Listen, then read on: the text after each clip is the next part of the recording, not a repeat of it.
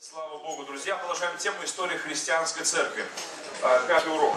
А, Друзья мои, продолжая тему, скажу, что а, после Третьего Вселенского собора многобожие, нарушение, по сути, первой заповеди, да, Бога, согласно 20 главе книги Исход. Ведь Бог, когда говорил заповеди и даже записал их своим перстом, Он сказал Израилю следующее и всем вышедшим из Египта, что я Господь Бог твой, который вывел тебя из... а, Откуда? Из земли египетской, из дома рабства. Да не будет у других бог- богов пред лицом моим. То есть он один только лишь, никого другого. И каждый раз, когда Израиль, а, он а, согрешал, а, он начинал молиться кому-то еще помимо Господа, а, приходили большие проблемы. А, В жизнь церкви также ворвались очень большие проблемы именно после вот этого рокового третьего собора Эфесского. Кстати, некоторые э, православные э, священнослужители, ортодоксальные, традиционные, как реформатор, обновленец, э, говорят мне, о, вот ты не почитаешь Третий Вселенский собор, как же ты называешься православным? Я говорю, братья, послушайте, а какой, я почитаю, ну смотря какой, не 22 июня, а 26 июня. И, а, а почему? Не просто мне понравился больше другой собор, собор альтернативный, нет, а потому что их решения были основаны, этих отцов, на Божьем Слове, на Библии. И поэтому любое решение любой церкви, деноминации, там, собора, собрания большого или маленького, э, можно проверить именно чем? Э, Вернейшим пророческим словом, которое есть Слово Божье, Библия. И это правда. Кстати, э, значит, святитель Филарет, Филарет Дроздов, митрополит Московский, в 19 столетии э, ему принадлежит очень интересное высказывание. Э, Филарет Дроздов, Филарет Московский, он сказал следующее, э, с семинаристом, православным будущим священнослужителем и священником некоторым, что в православной церкви сохраняются как истинное предание, так и ложное предание. Ему сказали, владыка, но как же нам теперь отличить истинное предание от ложного, ведь и то, и другое в церкви. Он сказал, то предание, которое противоречит духу и букве Писания, является ложным преданием. А что не противоречит духу и букве Писания, является истинным преданием. Но э, в 19 столетии, э, в столетии, в условиях вот этого царского самодержавия, в условиях именно э, цезарепапизма тогдашнего, когда в своде законов Российской империи было написано черно по белому, что глава церкви, его императорское величество, э, нельзя было ничегошеньки сделать. Э, Но когда царизм пал, именно в начале 20-го столетия, почти сто лет назад, начался процесс освобождения церкви и началась, ну, начались первые толчки такие а, православной реформации, история обновленческого движения а, в православной церкви. Кстати, московский храм а, Христа Спасителя, потом взорванный большевиками, был в те- времена центром православной обновленческой церкви, обновленческой, обновленческого движения православного. А, среди участников которого был даже и а, дедушка а, известного артиста нашего Михаила Боярского, митрополит Александр Боярский. Мало кто, может быть, об этом знает еще, но его дедушка, нашего русского Д'Артаньяна, он был православным митрополитом. И был одним из вождей, э, вождей православной реформации, обновленческого движения в Петербурге, в Петрограде и э, потом в Ленинграде. И он был расстрелян э, в 1937 году по указке Сталина по звонку из Москвы, без всякого суда и следствия. А родственникам сообщили, что якобы он без права переписки просто был выслан куда-то. А после смерти Сталина э, семью известили э, в 50-е годы уже, что так и так, что никуда его не вывозили, никуда его не, не сажали, просто-напросто в подвале тюрьмы взяли и расстреляли без всякого суда, просто по указке э, ген- генсека, там кто он там, кем он был, этот тиран. И э, почему Сталин боялся насчет Боярского Александра митрополита? Потому что это был на самом деле один из, его называли рабочий батюшка. Даже когда ЧК, ЧК в 20-е годы его арестовывала, э, то значит, э, его ну, ждали, ну, он был репрессирован. С ним могли поступить как хотели власти, но питерские рабочие вышли на манифестацию и по просьбе уже именно рабочих этих коллективов Петрограда. Этот священнослужитель был отпущен на свободу тогда. И это было, конечно, таким ну, ну, шоком для местных властей, для ЧК, что рабочие Петрограда вступились вот в полном таком составе, очень дружно а, многотысячные собрания такие выступили за этого священнослужителя. Его назвали с тех пор рабочий батюшка. А, значит, а, и Александр Боярский был одним из лидеров обновленческой церкви. Но об этом можно потом рассказать еще, хотя у нас времени будет очень мало. Вернемся в ту древнюю эпоху, это будет интереснее еще. Через многобожие пришли, знаете ли, беда одна не приходит. Здесь э, пришли семь злейших буквально. А, вместе с многобожием пришел целый букет других проблем. Кстати, а, вместе с многобожием, по сути, параллельно с многобожием, а, пришло и идолопоклонство,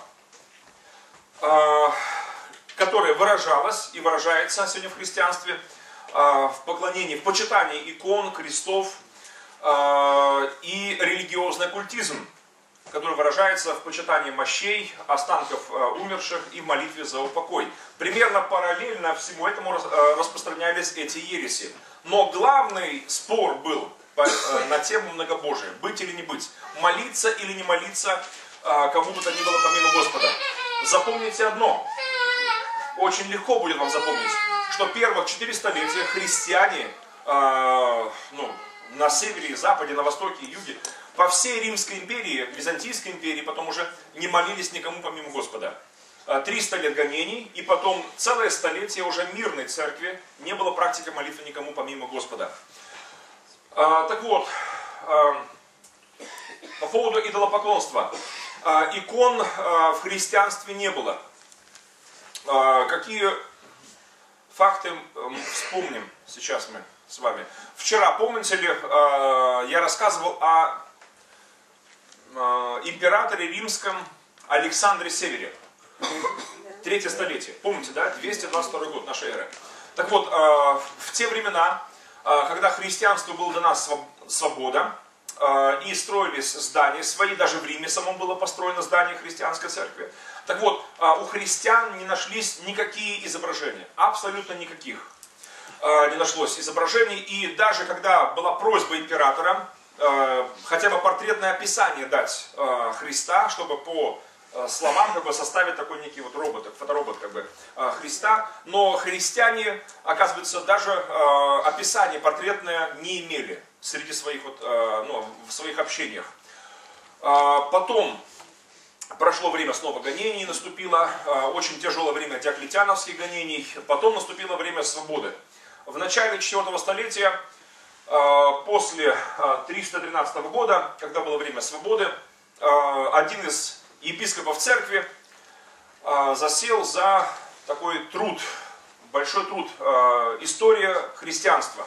Написал книгу «История христианства». Это был архиепископ значит, эм, в Кесарии, э, не Каппадокийской, а в Израиле, город Кесария, развалины которого показывают до сих пор. Значит, э, там была написана церковная история. И, э, звали этого епископа Евсевий.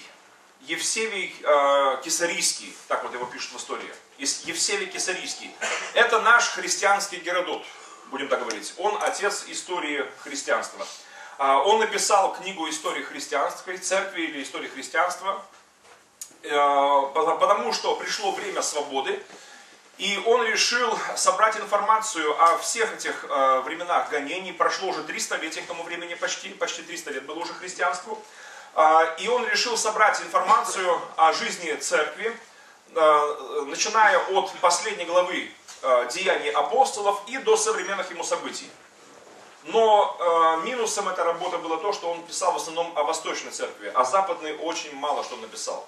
Э, только лишь о Востоке в основном рассуждал он. А, так вот, и получилась очень интересная работа. А, скажу, что это уникальная работа, на самом деле, история христианской церкви. А, он э, сам застал эпоху гонений, он видел, как христиан пытали и убивали.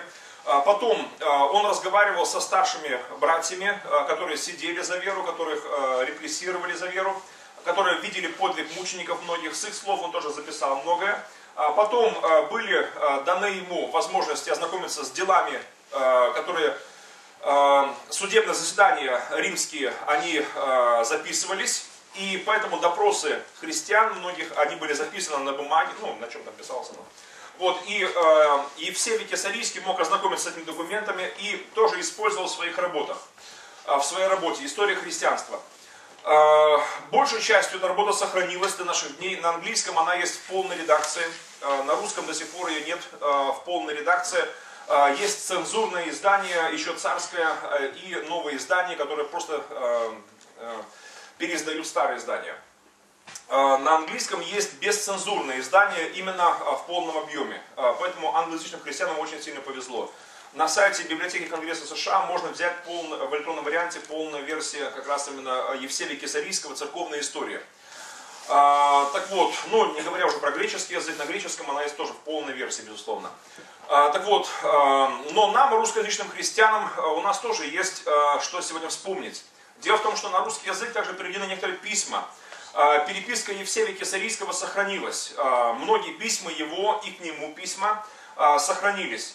А, оригиналы писем хранятся тоже в библиотеках мира, а, в частности Ватиканской библиотеке а, и также в библиотеке Конгресса США. Выставляется на сайтах значит, Конгресса США, можно взять тоже оригинал, копию, ознакомиться с копией значит, этого письма. И также Лувр выставлял одно время как раз переписку Евсевия Кесарийского, оригинальные письма, а, значит, Евсевия Кесарийского. Это документы, которые свидетельствуют против идолопоклонничества.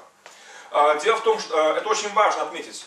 А, сам Епифаний, ой, ой Епифаний, Евсевий Кесарийский, извиняюсь, Евсевий Кесарийский, он вел переписку даже с домом императора. По крайней мере, помните, я вчера говорил, что э, на западе был Константин Великий, а на востоке был Ликиний, император. Помните, да? А, ну, вспом... Э, хорошо, а, значит, а, запомним так, что на... я постараюсь минимум говорить все-таки этих имен, но нужно запомнить некоторые имена. На западе был Константин, в IV веке, на востоке был Ликиний. Так вот, у Ликинии была жена Констанция, кстати, а быть, которая была родной сестрой Константина императора. А, то есть, э, и вчера, я помните, говорил вам, что три сына Константина тоже назывались на К. Очень интересная семья, наверное, да, была? Всех остальных, но не на К, всех репрессировали, как ни странно.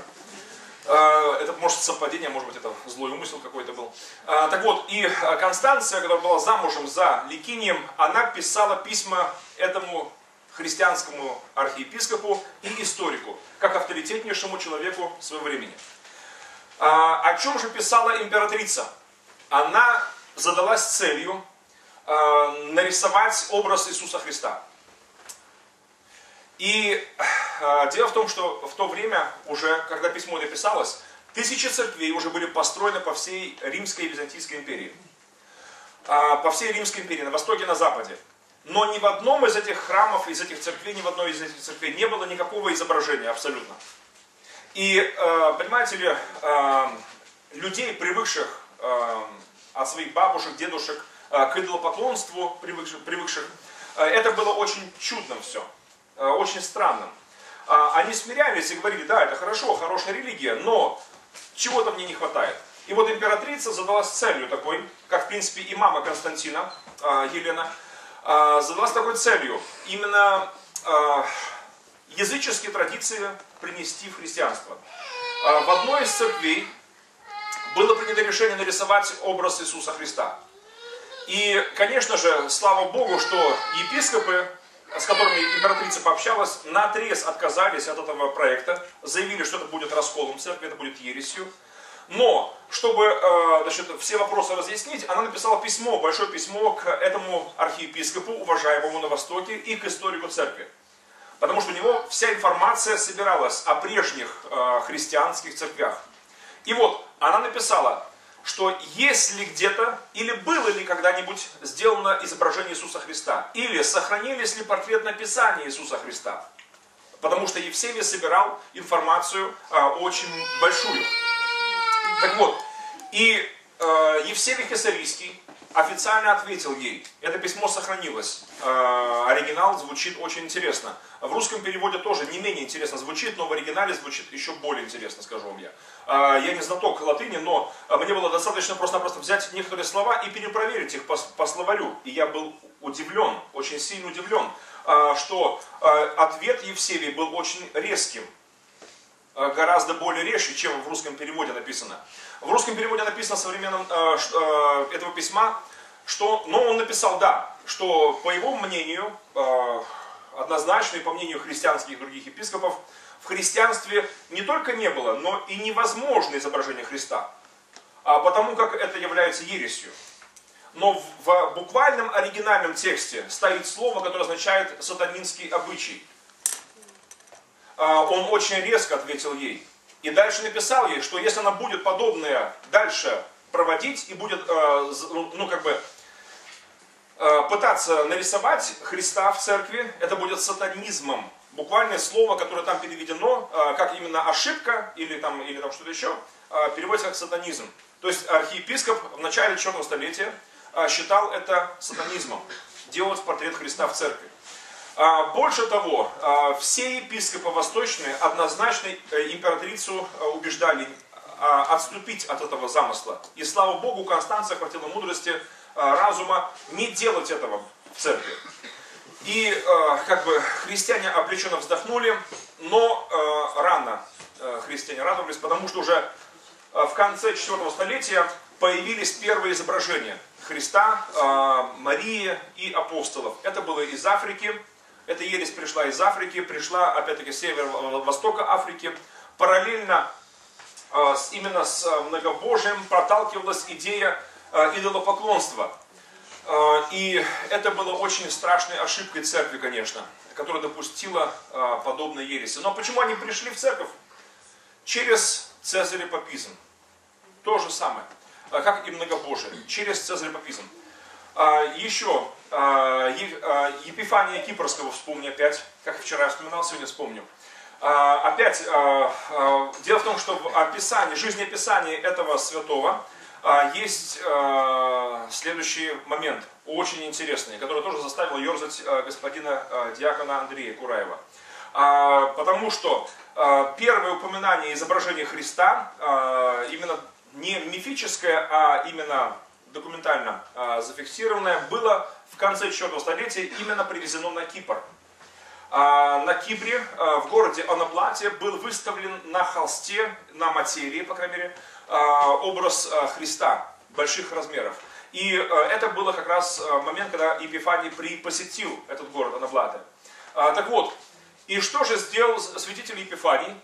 Он собственноручно, об этом есть описание очень интересное, он уничтожил это изображение на глазах у собравшейся церкви заявив, что это есть повод к идолопоклонству, что это есть не слава города на плате, а его позор. И, в общем-то, первое изображение Христа, известное в, нашей, вот, как бы, в истории, было уничтожено святым православной и католической церкви. А, сегодня в Москве, в области, да и по всей Руси Матушке, очень много изображений самого Епифания Кипрского. А, в Москве на Кропоткинской в переходе как раз а, где там монашки выставляют, а, сейчас не знаю, но вот несколько лет назад еще выставляли множество икон на продаже, и там есть а, такой ларек, и не один уже, где продаются эти иконы, там образа. Специально поинтересовался именные иконы, их очень много разных имен, там сотни разных имен, варианты маленькие, большие иконы, плакаты, значит, такой, ну как бы на иконостас. Так вот, э, Епифания Кипрского были очень разные варианты. Начиная от маленького медальончика, э, как бы от порчи от глаза, якобы помогает Епифаний. Э, вот еще, а также большие изображения для наклейки на стену, там, на, ну, в храме внутри, допустим, под лак. Представьте себе, если бы сегодня Епифания воскресить, показать ему все это безобразие, что бы он сказал братьям, православным, католикам, он сказал бы, кошмар, что вы делаете? Я думаю, он с большим энтузиазмом просто бы уничтожал бы эти изображения и говорил бы, братья, не делайте так вообще. Вы что? Сам, сам он э, учил как раз обратному, не поклоняться там изображениям, а наоборот восставал против э, даже искусства такого в церкви. за сто лет до этого события, ну почти сто лет, лет за 80 э, до этого, значит, в Испании, в городе Эльвире, был собор, поместный собор христианской церкви, в основном были испанские и французские епископы, э, с нынешней Португалии были епископы. Э, так вот, э, очень интересный факт есть. Э, эти епископы рассуждали, возможно ли изображение живопись, допустим, э, в церквях. Епископы некоторые предлагали живопись сделать в церквях, а, а именно а, пейзажи, натюрморты и аллегории. Допустим, Иисуса в виде пастуха. А, так вот, и подавляющее большинство епископов однозначно выразилось, что такая живопись рода, она будет провоцировать к идолопоклонству. И не допускать было принято решение живописных изображений в церквях. И поэтому целых сто лет до конца черного столетия не было никаких изображений в церквях. Но на рубеже пятого столетия, как раз вот именно в конце четвертого начала пятого столетия стали появляться изображения. Их привозили из Африки, а, их привозили а, с северо-востока Африки, с Египта непосредственно торговцы. И, конечно, поначалу христиане чурались этих изображений, а потом, когда все это произошло, нечестие Третьего Собора Вселенского, и когда епископы нормальные, порядочные епископы, а, библейские, верующие, были репрессированы, на их места были поставлены, как правило, малограмотные, а порой безграмотные африканские а, вот эти вот епископы, мракобесы, монахи, знаете ли, которые не мылись десятилетиями, которые жили вот таким образом странным. Так вот, именно через вот это все идолопоклонство стало распространяться по Востоку, по всему Востоку. На Западе оно пришло, на Запад пришло позже. Почему? Потому что на Западе не было таких страшных репрессий, и не было а, столько много африканцев, там епископов, там а, были лишь единицы буквально. А, в основном черный епископат был именно на Востоке, потому что греческий был почти, почти полностью репрессирован епископат. А, как генер... То есть старшие пастыри были репрессированы на, на Востоке. И страшные ереси пришли именно тогда. А что было потом? А, в 451 году Через 20 лет, ровно 20 лет прошло после Третьего собора, а, произошел Четвертый Вселенский собор в Халкидоне. И на этом соборе а, был легализован откровенный оккультизм. Мало того, что почитание, а, ну, об иконах так мало говорилось, в основном говорилось именно об откровенном оккультизме, а именно молитва за умерших и использование мощей в практике э, богослужебной. Э, вы скажете, как могли легализовать оккультизм? Просто-напросто потому, что могли это сделать, потому что за эти 20 лет монашество просто-напросто взяло власть полностью в свои руки на, по всему Востоку. И, конечно, привело это к печальным последствиям. Интересный факт такой. Пример я приведу так будет проще запомнить. На четвертом соборе в Халкидоне э, отцы собора, участники собора, э, произвели такой спиритический сеанс прямо э, среди бела дня. Если, допустим, до того, до этого четвертого собора, спиритизм практиковали монахи чаще всего без свидетелей, в пустынях, и их опыте спиритическом общении с, умер, с умершими, допустим, мы знаем лишь там с их слов или со слов их учеников. А, как правило, без свидетелей, а, или же с очень немногими свидетелями, а, то здесь впервые спиритизм был э, продемонстрирован именно в церковном собрании на церковном соборе. Для этого останки, мощи, труп святой Ефимии Всехвальной, так называемой Ефимии мученицы, был значит, открыт гроб, ее мощи были открыты, останки, то есть э, ее казнили, э, ее казнили э, больше ста лет тому, еще перед тем. То есть она была больше ста лет уже мертвой. И в условиях пустыни Халкидонской она была просто, знаете, высохшей такой. Ее останки, я извиняюсь за подробности, но вот что было сделано монахами? Монахи помолились этой святой, чтобы она дала ответ свой. Чтобы она сказала им, кто же из них прав и кто больше прав, более прав, допустим. Для этого они поместили в ее гроб а, свои рукописания, а, значит, закрыли гроб и молились этой святой. Потом открыли гроб и видят э, одно из этих рукописаний у нее в руках, остальные в ногах. Сказал председатель, вот видите, господа участники собора, вот Ефимия дала таки ответ. Оппозиция запротестовала, сказала, что это фокусы. Э, и поэтому сказали, мы не верим таким этим фокусам. Э, сказал председатель следующее, хорошо, давайте теперь не закрывать гроб, а спросим ее открытым текстом. Они молились Ефимии, каким-то образом вызвали ее дух, каким-то образом э, ее труп на время ожил, ну, рука, по крайней мере, ожила, так говорит, э, так говорит официальная православная церковь, католическая также. И ее рук, она протянула, покойная, больше ста лет уже покойная, протянула свою руку так, и отдала рукописание председателю.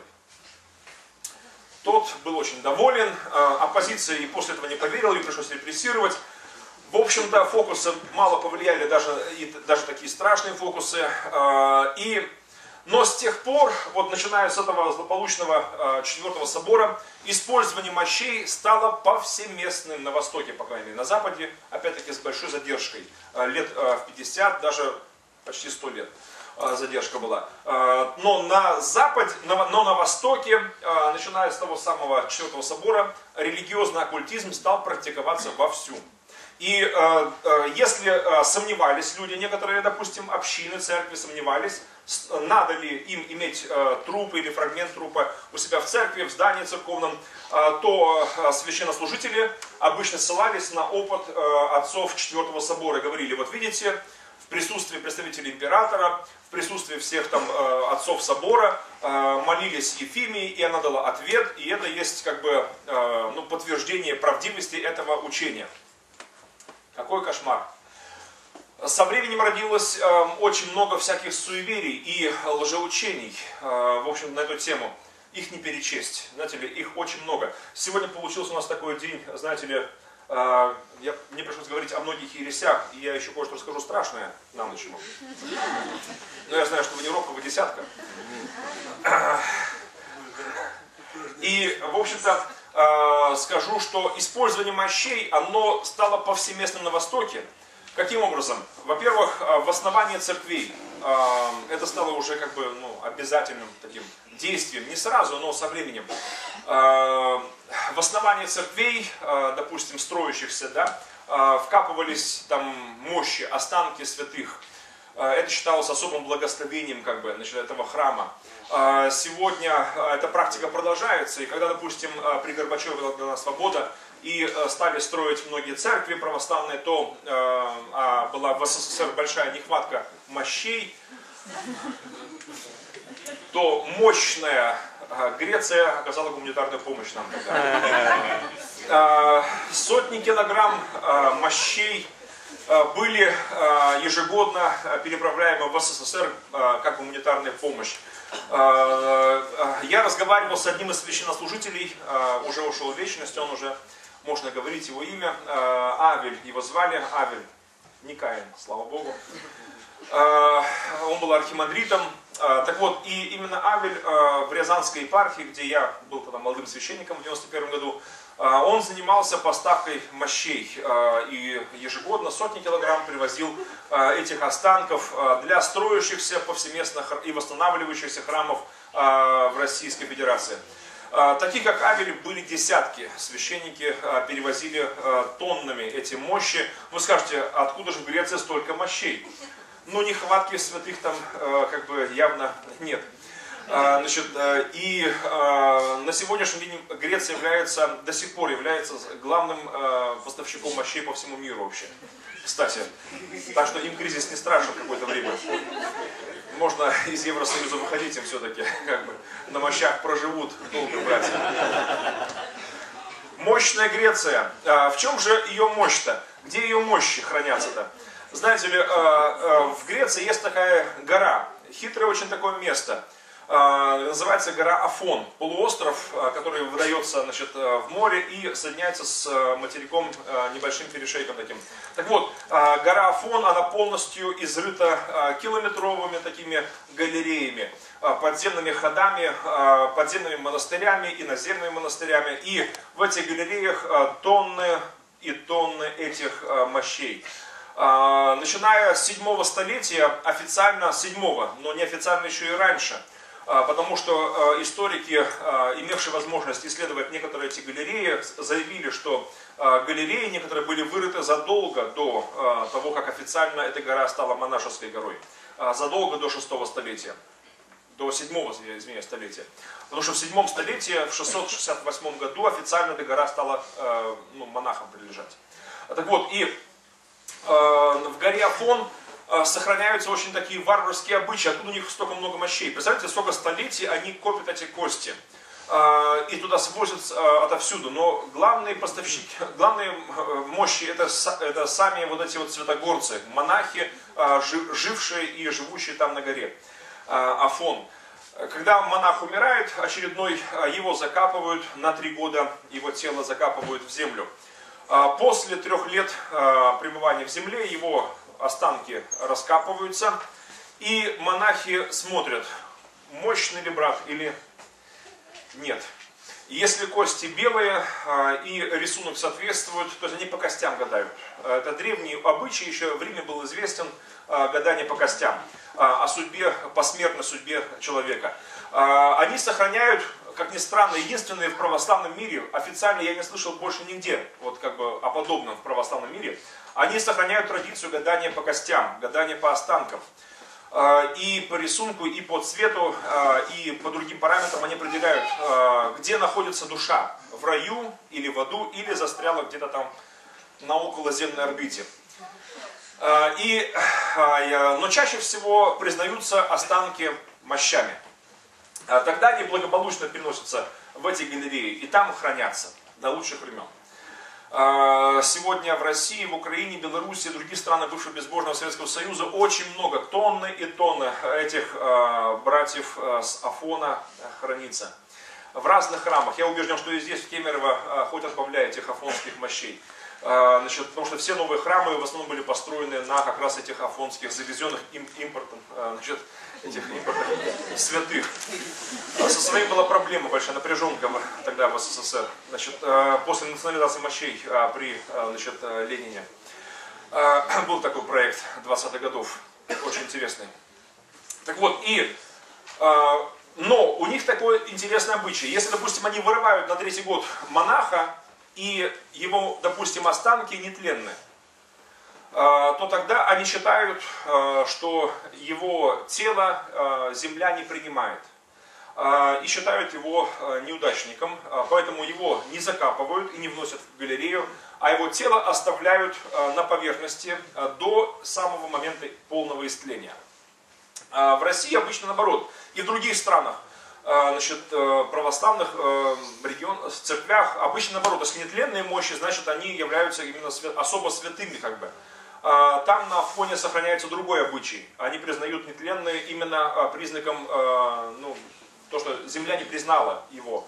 Написано, прах ты, в прах возвратишься, как бы. Они вот говорят, что значит не стало прахом его тело и ждут истления тела. И когда тело истлеет, они также исследуют его кости и определяют, помилован ли он или не помилован. Но по большому счету считается так, что все похороненные там на Афоне, монахи жившие, они будут вымолены рано или поздно.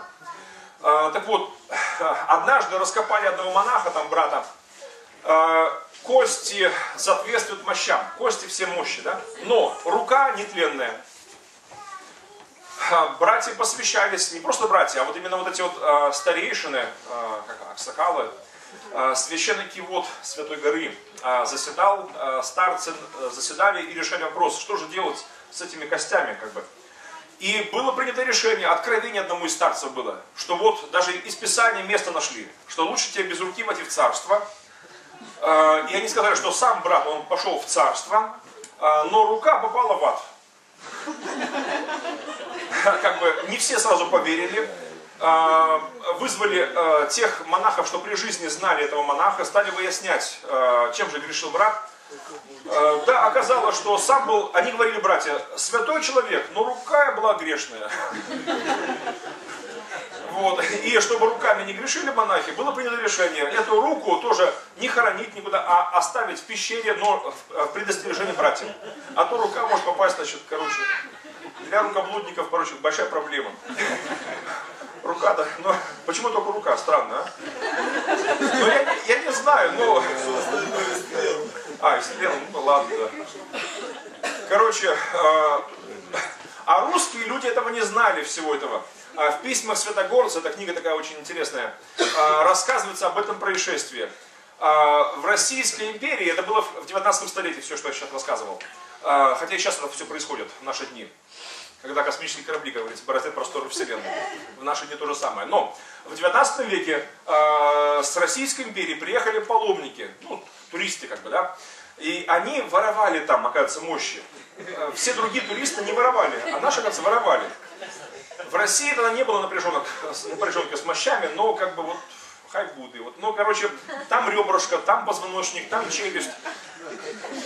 Они ж не знали, греки, как бы, хотя тоже хитрыми слывут, но как бы, да, русский родился, грек заплакал, наверное, можно так перефразировать. Одним словом, греки не догадывались, что их обворовывают. Значит, ну там тонны мощей, там, знаете, пару костей исчезнет, даже не заметит даже. А какие скелеты там пропали, кто его знает.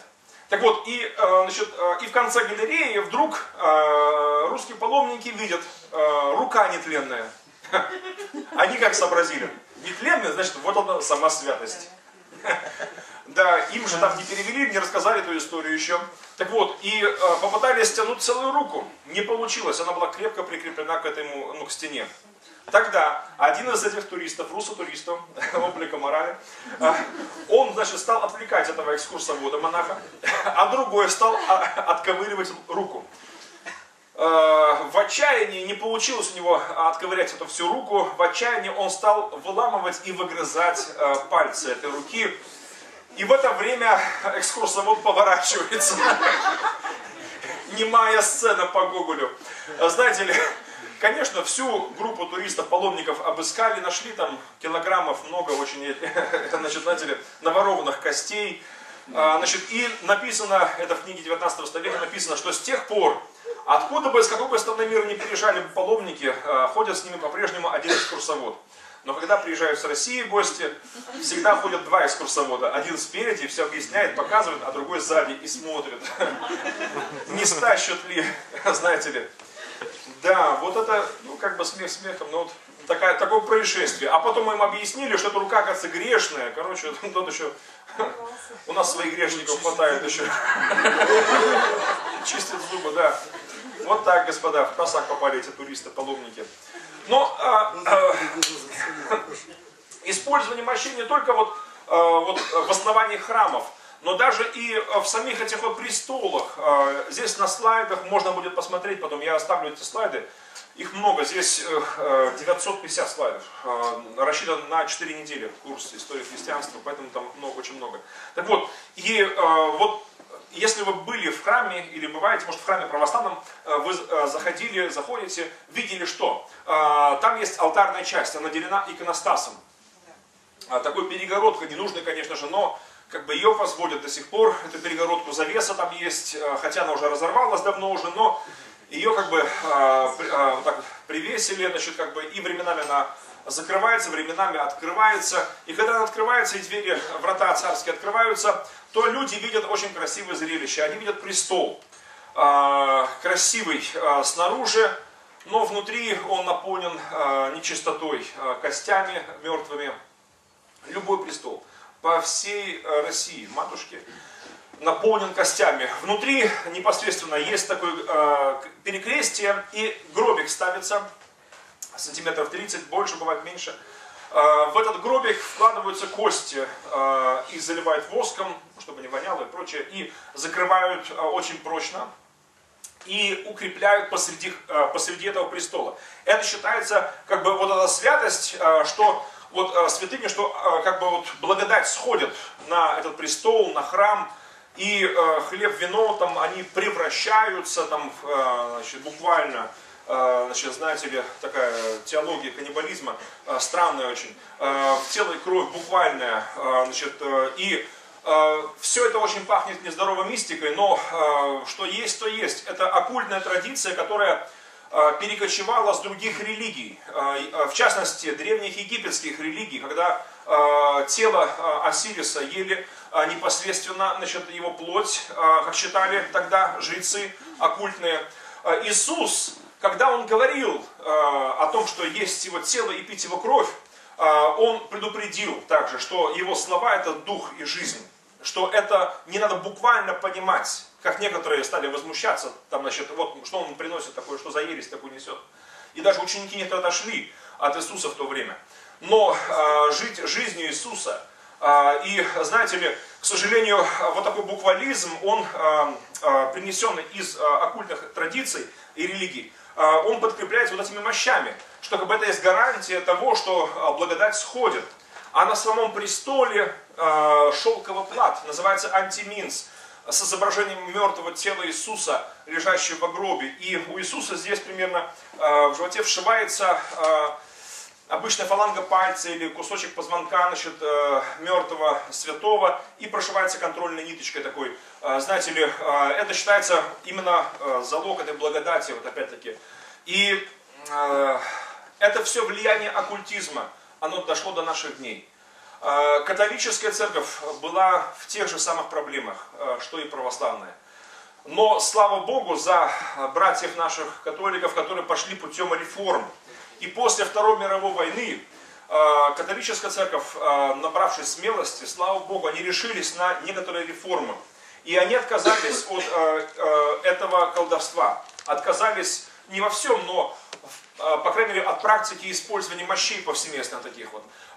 Теперь в костелах, новых костелах, у вас тоже есть в Кемерово костел, я знаю, и это новое сооружение, новый костел, э, и поэтому я скажу так, что в этом костеле, как и во всех костелах, построенных после 1965 года, нет мощей, нет костей, и слава Богу, слава Богу, хватило мудрости у отцов, Второго Ватиканского собора заявить, что мы освобождаемся от этого. Слава Богу. Кстати, а, в православных церквях, а, не только в России, не только в странах бывшего безбожного союза, но и других странах мира до сих пор сохраняются эти мертвые традиции, оккультные традиции. А, за исключением некоторых церквей. Вот, ну, опять-таки, в нашей церкви, в нашей, именно Украинской реформаторской православной церкви нет такой практики. И в некоторых других церквях, в частности в США, я был в церквях харизматик, Orthodox Church, харизматическая православная церковь, есть такая патриарх этой церкви, э, белый американец Марк Керси.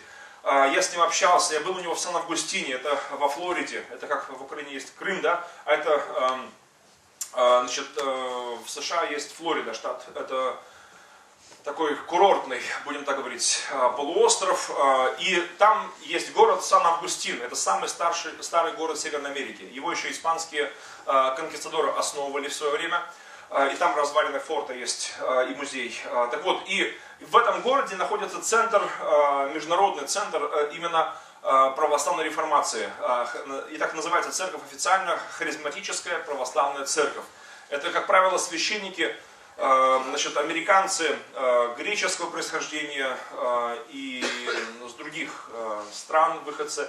Так вот, крещенный Духом Святым, там же во Флориде есть еще другой городишко, маленький Мирамар-Бич, там отец Евсевий Стефанопулос, а, это греческий священнослужитель, старейший штата Флорида, который крещен тоже Духом Святым, это старец со знамением молитвы на иных языках. И он был крещен Духом Святым, будучи священником там же во Флориде в 72 году еще был крещен Духом Святым. А до, 70, до 72 года он был традиционным греческим православным священником и как бы не имел такого переживания, а, в 72 году а, он пережил крещение Духом Святым а, через своих прихожанок, которые тайно посещали, ну, они посещали свой храм, греческий, православный там в Америке, да, а тайно посещали, как в том этом, 12, ой, бриллиантовая рука, помните, да, тайно посещают любовницу, да, значит, значит как бы тлетворное влияние Запада. Вот, значит, а, кстати, в оригинале, оказывается, было по-другому. Тайно посещают синагогу. Так вот, и они тайно посещали что, эти женщины? А, пятидесятническое собрание. А, а начало 70-х была волна пробуждения по всему восточному и западному побережью, а, волна большого пробуждения духовного. И вот, и Бог крестил их Духом Святым. И они в церкви стали такие, знаете ли, такие э, сестры, зажигалочки такие. Э, везде они, как бы, как говорится, ну, Они были первыми помощницами, и батюшка почувствовал что-то неладное. Что-то в них есть такое, что нет ни у кого больше вообще. И даже у него, у батюшки, нет такого. И он их однажды вызвал к себе на ковер в офис, значит, и стал их расспрашивать, ну-ка, признавайтесь, что у вас есть такое, какая тайна у вас есть. Ну, они как бы взяли и рассказали ему так и так, прости, батюшка, но мы ходим еще, кроме нашего собрания, кроме нашего храма, мы еще ходим к писятникам, и вот теперь мы молимся на языках. И вы что, молитесь вот так вот, тарабара, тарабара, конечно. Голосовали какие-то там? Да, у нас это есть. Ну-ка помолитесь. Они там хабашеке маша мараха машеке маха. Что стали молиться? Он вот это да. Вау. А, а я могу так научиться? Батюшка, нет проблемы. Как бы. Было бы желание. И мы можем помолиться. Одним словом, но он не сразу согласился, конечно. Он размышлял, читал книги, э, сравнивал. Э, кстати, э, он перечитывал, у него есть прекрасная проповедь на, на эту тему. Он перечитывал проповеди и учение Симеона Нового Богослова, одного из класси- классических отцов греческой православной церкви. Симеон, святитель Симеон Новый Богослов. На русском тоже есть его сочинения. Я читал их. Мы, ну, скажу, редкий священник в России православный не знает Семена Нового Богослова, его сочинений. По крайней мере, в семинарских программах он, он есть, сто процентов, его читают, но я никогда не знал, что у Семена есть такие учения. О крещении Духом Святым, о молитве на иных языках, о даре истолкования, о пророчествах. А, откуда? Я не помню такого. Я как бы думаю, что, что за ерунда? Я не помню такого. Оказывается, я-то читал русский перевод, синодальный э, цензурный перевод – где целые главы и э, были вырезаны и не переведены на русский язык. На английском есть полная версия, э, полное бесцензурное э, издание Семена Нового Богослова, э, где черным, э, знакомые тексты были незнакомы для меня совершенно. Оказывается, э, целые главы у него, у Семена, вырванные царскими цензур, цар, царской цензурой в 18-19 э, веках, а, говорят нам о крещении Духом Святым с знамением молитвы на иных языках.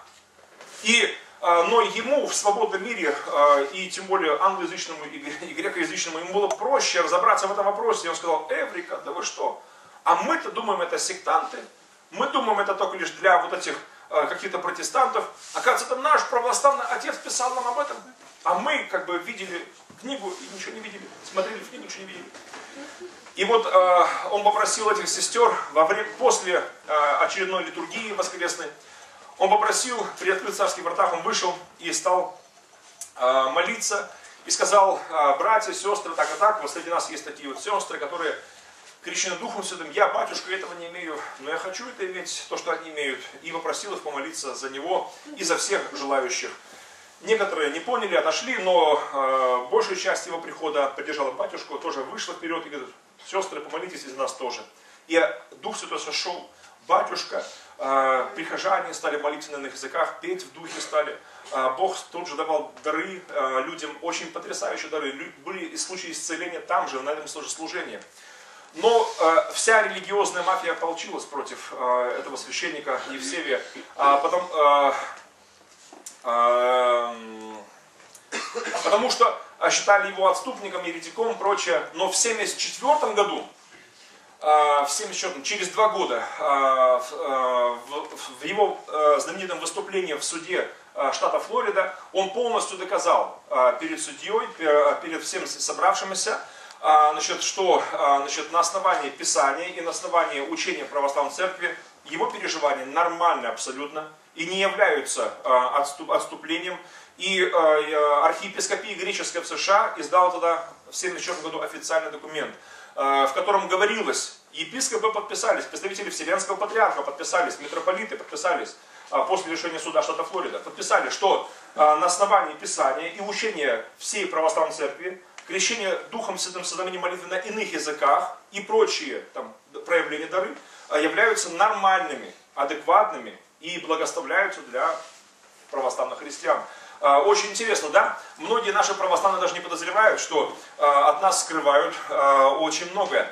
В истории, в учении есть много интересных моментов, но хотелось бы сейчас чем завершить? Ну, помолиться, благословить Бога и скажу, что из истории много можно взять всякого. Я тоже многие факты из истории знал и раньше, но без Христа в центре внимания, без Библии как стержня, все эти факты у меня рассыпались. И я делал неправильные выводы совершенно, как и тысячи моих коллег сегодня делают, к сожалению. Но слава Богу за истину Божьего Слова, которое делает нас свободными. Слава Богу. Отец, я благодарю Тебя за этот вечер. Благодарю Тебя, Господь, за Твое здесь присутствие. Благодарю Тебя за истину Слова Твоего, которое освобождает нас. Благодарю Тебя за правду историческую, которая через Библию, Боже, мы сегодня открываем для себя, и которая помогает нам не запутаться в умствованиях своих, помогает нам выйти на свободу, освободиться от бремени.